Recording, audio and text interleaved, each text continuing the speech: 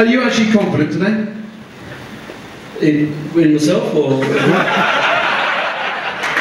No, I was thinking more the game. Yeah. Um, to be fair, I know nothing about the teams.